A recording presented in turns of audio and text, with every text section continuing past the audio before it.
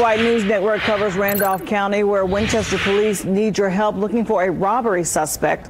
Police say last night the person robbed the village pantry on West Washington Street. Officers say the suspect is believed to be a man. They say he wore a toboggan hat, dark mask, and glasses and was armed with a shotgun. Police say he got away in a light colored four door truck. Anyone with information is asked to call police.